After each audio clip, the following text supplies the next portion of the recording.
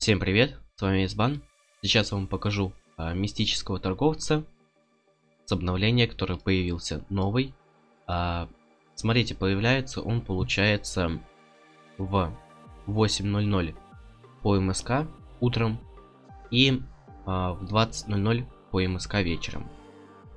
А, это точное время и появляется он раз в 12 часов.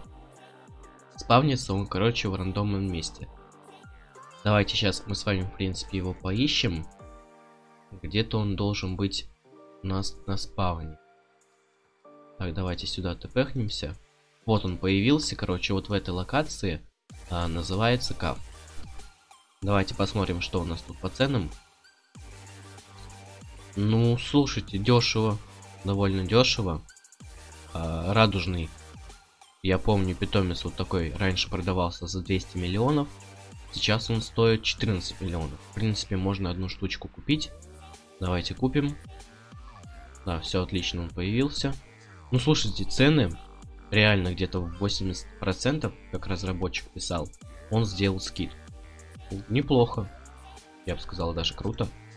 Так, давайте также тпхнемся в луинскую локацию и прокачаем, что там у меня не прокачано. Сейчас я накопил 5 миллиардов. Так, заходим. Угу. Осталось прокачать только последний этап гемов. Давайте это сделаем. И за 1 миллиард прокачать мифический шанс. Так, все отлично. У меня все на 100% выполнено. Это круто. А, также сейчас, я думаю, скоро буду открывать вот это яйцо. Буду надеяться, естественно, на секретного питомца. И давайте посмотрим, сколько штук его уже выбили. Кто не знал, чтобы посмотреть, а для этого нужно зайти в настройки, найти pet датабаза. А если у вас здесь выключены или стоят редкие питомцы, то сделайте на всех питомцев. Все мы сделали. Так, давайте сейчас сундук соберу.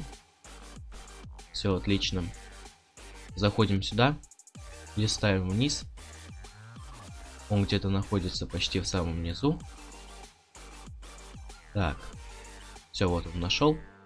Ага. Его, получается, выбили всего лишь 9 человек во всем мире. Ну, в принципе, довольно мало. Дайте обновление уже вышло где-то 12 часов назад. Выбили только 9 штук. Ну, смотрите, а если он падает вам, а его продать можно будет где-то плюс-минус за 1 миллиард гемов в принципе, довольно неплохо. И он, кстати, ценится так же, как э, питомец, который стоил, по-моему, 70 долларов. Вот, вот этот Phuket. И по статистикам он такой же. То есть, что за донат, что бесплатно, а у них статистики будут одинаковые. Также, в принципе, давайте сейчас я дождусь, когда появится другой торговец, и посмотрим, какие у него цены. Все, наконец-то нашел обычного торговца. Давайте бежим к нему. Смотрим, что у него по ценам. А, как писал разработчик, у него должны быть скидки в 50%. У мистического торговца 80%. На 30% разница. Ну, слушайте, в принципе, да. Ощущается разница. Я легендарного вот этого волка купил за 14 миллионов гемов почти. 13,8 вроде бы он стоил. Сейчас он стоит 68,8. То есть где-то в 4 половиной раза дороже. Так что, естественно, выгоднее закупаться вот этого мистического торговца, который появляется раз в 12 часов. И можно прям по полной, по максимуму него покупать пэтов, чтобы сделать себе из Dark Материи. Вот это вот мифического питомца. В принципе, выгодно.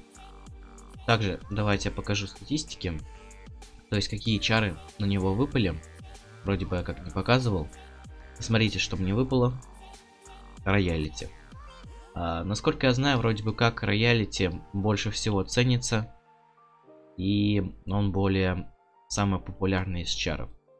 А на мифическом питомце это очень ценится, потому что как вы знаете, на него нельзя сделать чары, то есть его заинчантить. А чары, получается, чисто рандомно один раз выпадают, и больше вы их изменить не сможете. Так что это очень выгодно. Может быть вам тоже выпадет с роялити, можете ждать его, покупать. Еще раз напомню то, что он появляется в 8 утра по МСК и в 8 вечера по МСК. Ну, в принципе, у меня на этом все. Вот такой сегодня видеоролик получился. Ставьте лайки, подписывайтесь на канал. Всем удачи и пока.